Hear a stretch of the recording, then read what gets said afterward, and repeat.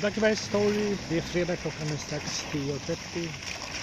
Um, 8 eller 9 september. År 2017. Klart slut.